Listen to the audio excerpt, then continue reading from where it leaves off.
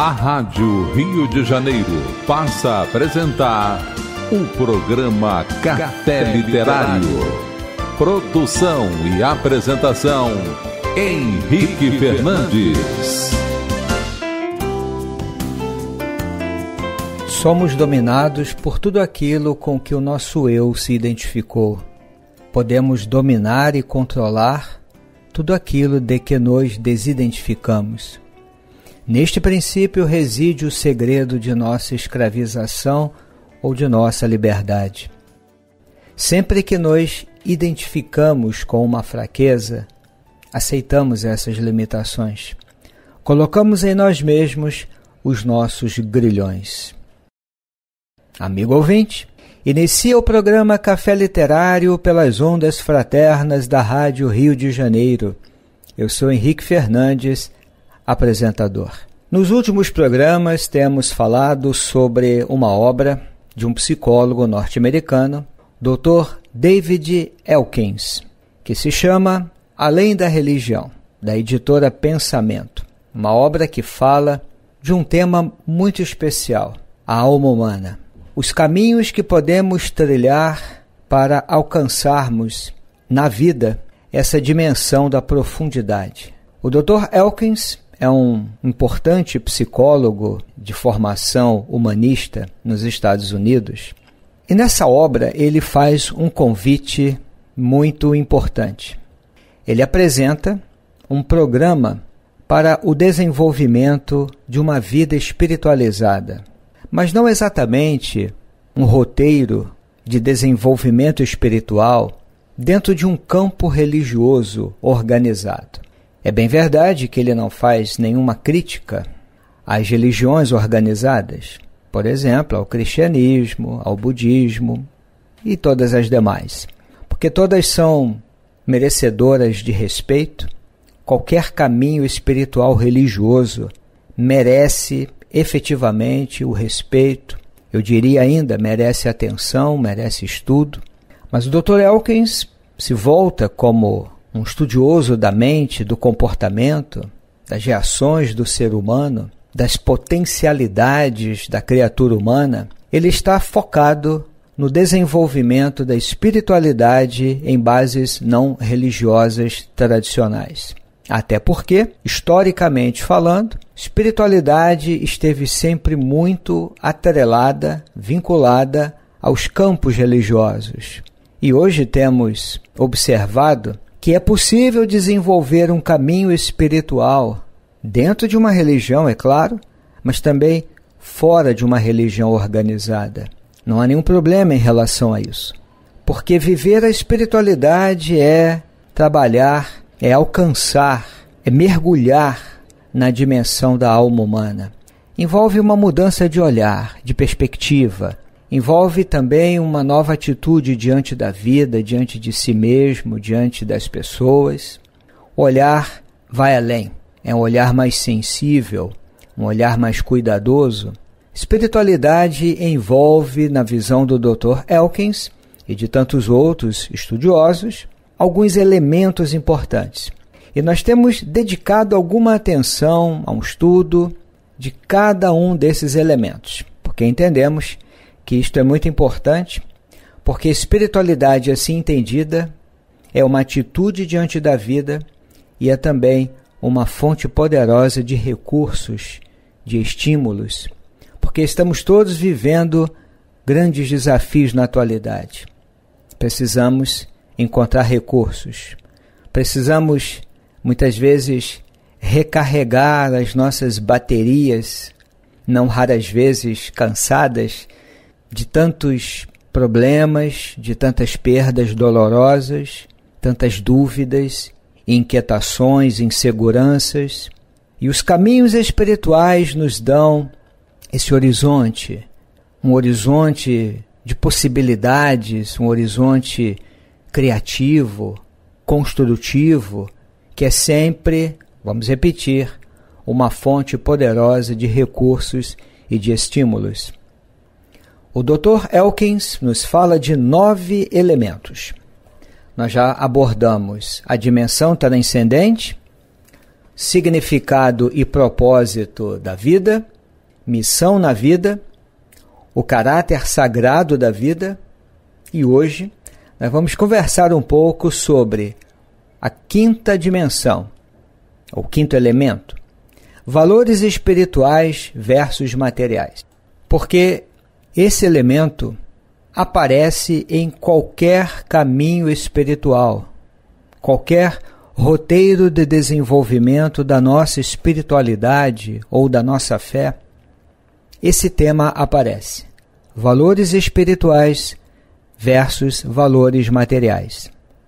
O nosso autor diz assim: a pessoa espiritualizada ela pode valorizar bens materiais, tais como dinheiro, posses, mas ela não busca nesses elementos uma satisfação última e nem tenta usá-los como substitutos para necessidades espirituais frustradas.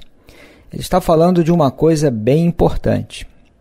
A pessoa espiritualizada sabe que a sede ontológica quer dizer a sede mais profunda do ser, esse ser profundo.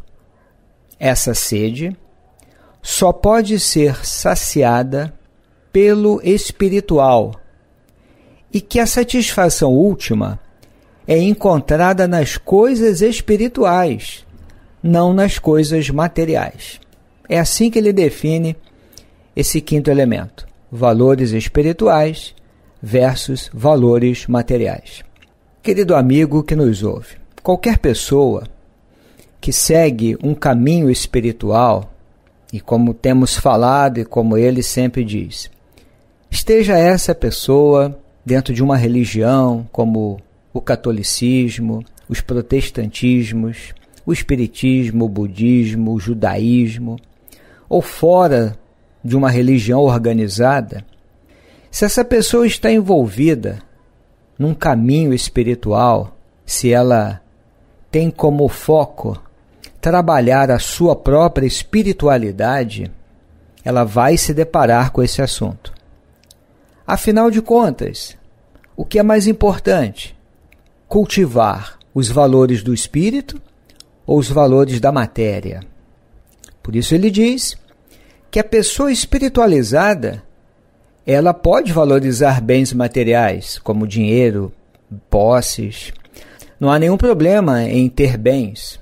É óbvio que dentro da nossa organização social nós precisamos comprar coisas, adquirir coisas.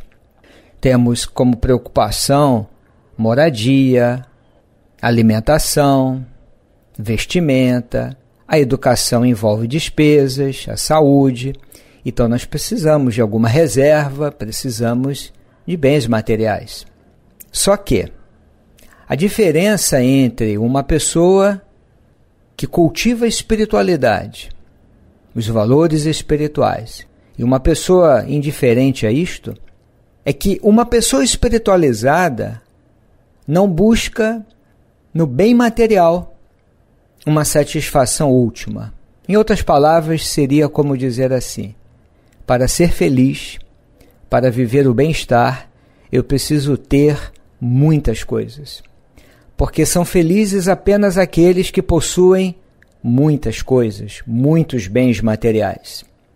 No fundo, a pessoa espiritualizada, ela sente e ela entende que essa sede, essa fome de sentido, de realização, nunca vai ser saciada pela obtenção de coisas materiais. É claro, como aparece claramente nas páginas da obra O Livro dos Espíritos, por exemplo, na pergunta 922, que para o homem encontrar a felicidade, ele precisa da posse do necessário e também precisa, na dimensão do espírito, da consciência tranquila e da fé no futuro.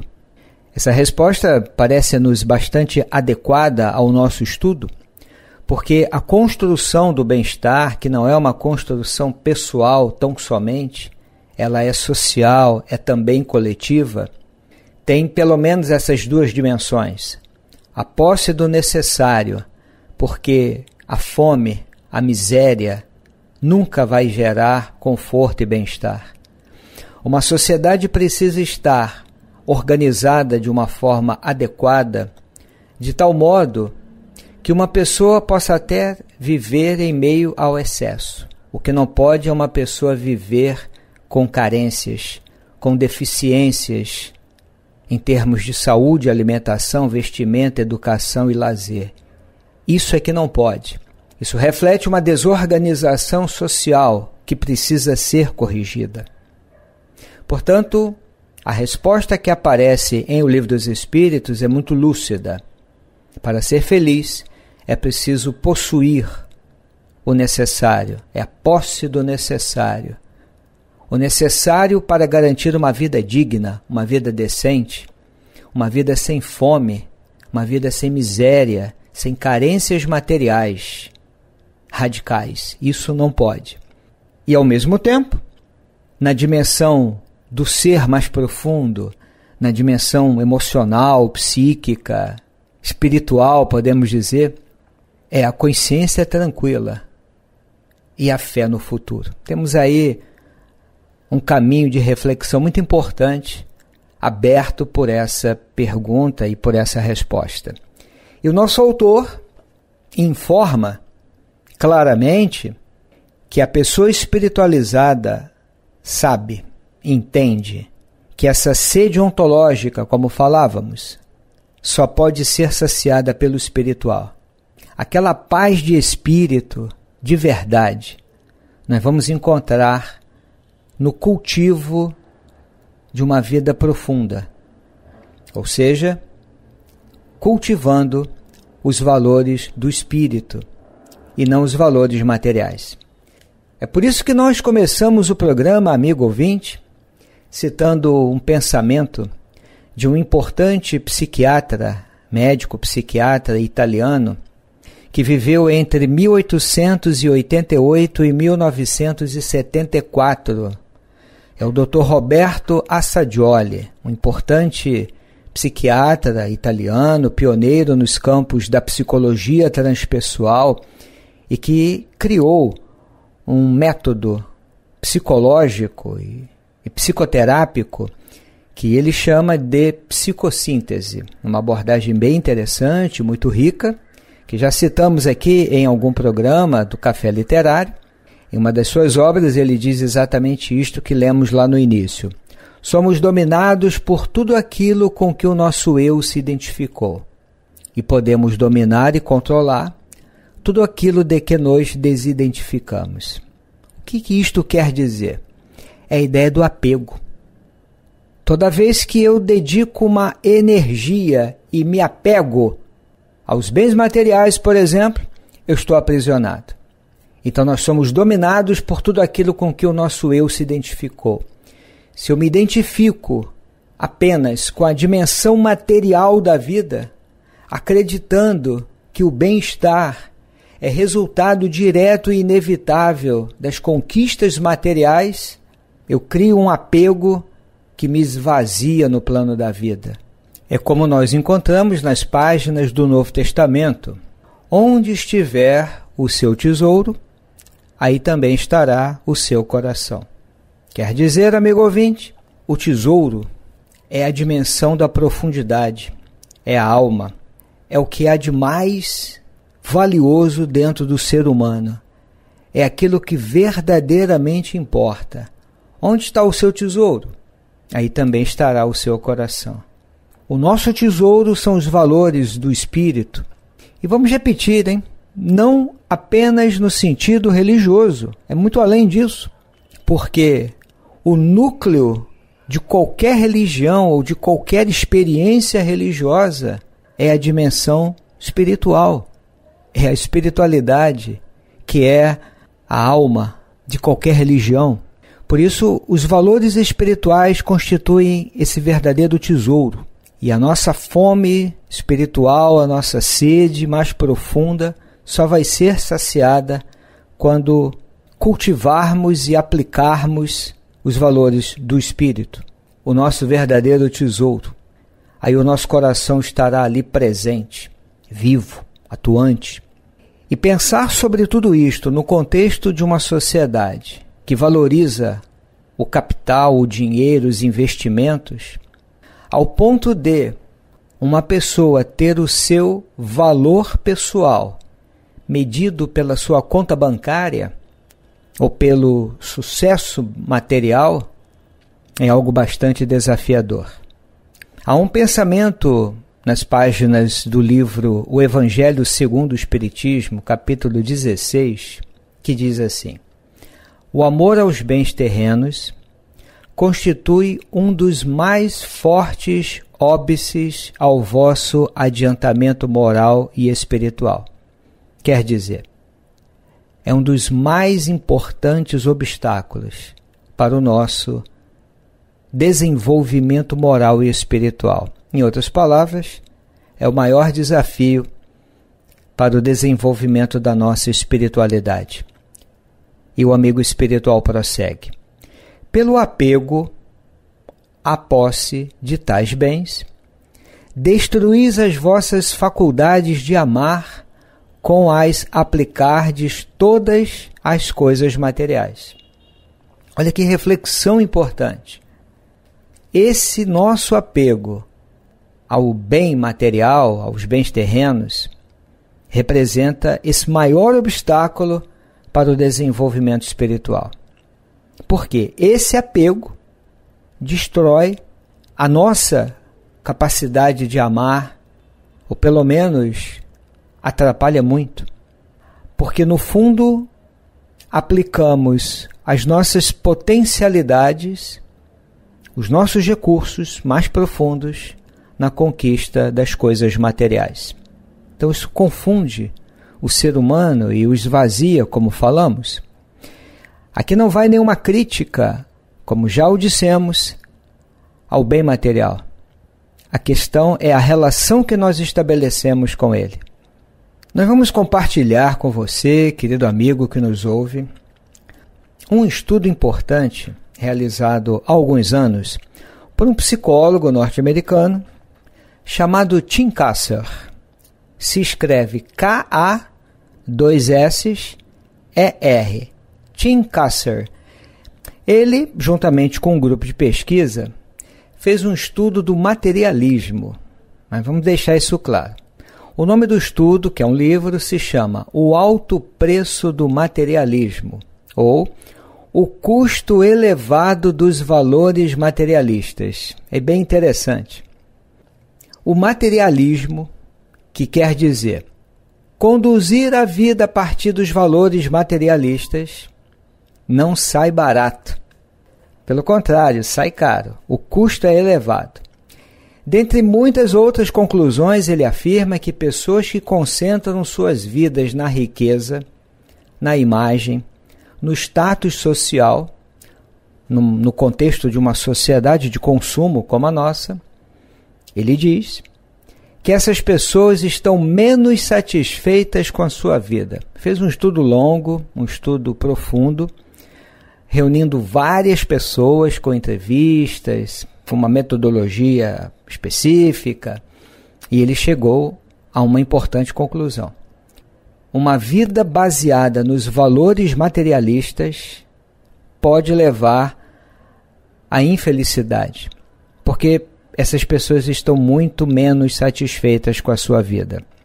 Ele nos faz compreender nesse estudo, Tim Kasser, que uma vida fundada nesses valores materialistas leva a pessoa a uma espécie de autocentramento que, que é isso? Ela está focada nela mesma. Por isso, as sociedades contemporâneas estão muito. Se revelam bastante individualistas. É exatamente essa ideia do autocentramento. Há um foco muito grande na competição e muito pouco foco na cooperação. Ele concluiu no seu estudo que uma pessoa autocentrada ela contribui muito menos com o interesse geral. Elas se preocupam pouco com questões ecológicas. Vamos abrir aqui um parênteses, amigo ouvinte.